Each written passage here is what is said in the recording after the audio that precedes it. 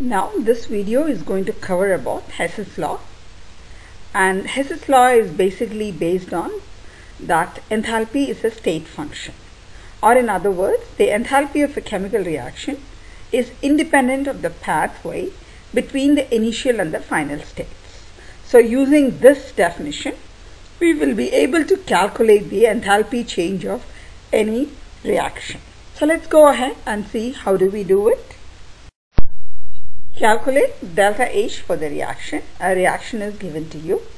So you have to, in order to calculate the delta H for the reaction, so we asked to use the following reaction. P4 plus 3O2 giving you P4O6 and the delta H is given. And there is another reaction P4 plus 5O2 giving you P4O10 delta H is given. So how do you go about it? So before starting to uh, do, just observe.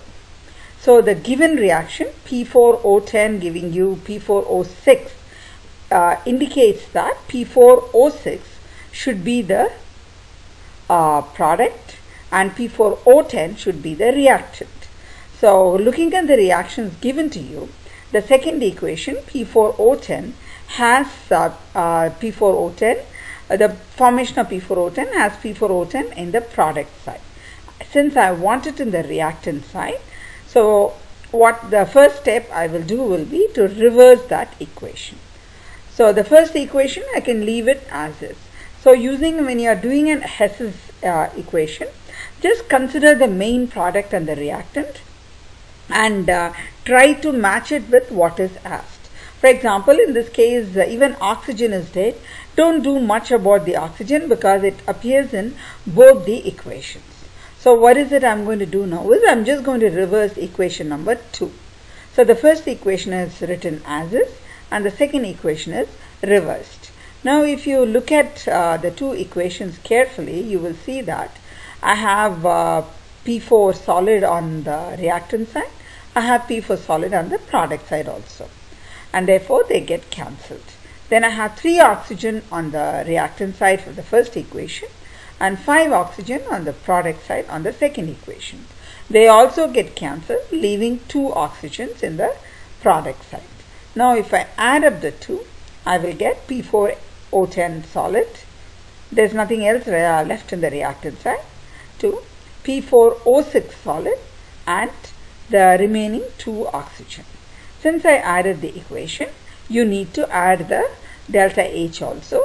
One more thing you should notice is whenever I reverse equation 2, you see that the delta H for equation 2 is also changed from negative 2940.1 to positive 2940.1. So these are the simple facts you should remember. Whatever you do to the equation, you must do to the value of delta H also. Calculate delta H for the reaction N2H4 liquid plus H2O2, 2H2O2 giving you nitrogen for 4 water and you are given the following reactions. The first reaction is uh, N2H4 reacting with oxygen and then I have uh, water breaking up into hydrogen and oxygen. Delta H is given for both the reaction and I have the third reaction with uh, hydrogen peroxide giving you hydrogen and oxygen. So using these three reactions, I need to get the uh, delta H for the reaction of N2H4 with H2O2. So now as always, first I will observe the reaction given and I realize that water is in the product side and uh, equation 2 uh, is the one which will uh, which has product in the reactant side though the first equation has water on the product side I will need more water so therefore, I will just reverse equation 2 and since I need 4 moles of water and I get 2 from the first equation, I will multiply equation number 2 with 2. Now, uh, the next um, reactant is H2O2 and H2O2, I have 2 H2O2 on the equation which is asked. So, I will multiply equation 3 by 2. So now whatever I said, I will write it down again. The first equation is written as is. The second equation is reversed and multiplied by 2 and the, the value of delta H is also multiplied by 2 and reversed and the third equation is multiplied by 2 and the value of delta H is also multiplied by 2. So when I uh, look at what all gets cancelled, you can see that the oxygen from the first equation and the second equation add up to 2 oxygen and gets cancelled with the oxygen of the third equation. Then hydrogen that also gets cancelled both on the from the second and the third equation. And then um, that's all, nothing gets cancelled. So now add up whatever is remaining. I get N2H4 plus 2H2O2 plus nitrogen plus 4 water and this is what the equation they have asked for and uh, add up the delta H also to get the value for delta H. Calculate delta H for the reaction. CS2 reacting with oxygen giving you carbon dioxide and sulfur dioxide. And you have been asked to use the reactions. Carbon plus oxygen giving you carbon dioxide sulfur plus oxygen giving you sulfur dioxide and the reaction of carbon and sulfur to give you carbon disulfide all the delta H values are given so when I look at that uh, the first thing I see that I need uh, 2 SO2 so that means the second equation which has SO2 will be multiplied by 2 and uh, the third equation I need CS2 on the reactant side Hence, I will reverse the third equation. So that's all. Now, I'll write whatever I said that in a um, um, modified way now. Second equation is multiplied by 2. The third equation is reversed. And accordingly, the value of uh, delta H is also changed. Now, you can see that the carbon is same on, um, um, um can get cancelled. Sulfur from equation 2 and sulfur from equation 3 get cancelled and then uh, what else is there and then that's all just add the three equations you will see that I'm left with CS2 from equation 3 and then uh, 3 oxygen from equation 1 and 2 giving you carbon dioxide and 2SO2 that's what I wanted and adding gives the correct value for delta H also.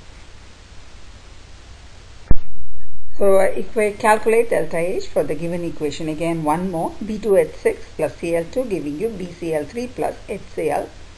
Use the following equations. There's a reaction of BCl3 plus water giving you H3BO3. Then B2H6 uh, reacts with water to give you again H3BO3. And then the last equation is a reaction with uh, hydrogen and chlorine giving you HCl. The delta H for all the reactions are given.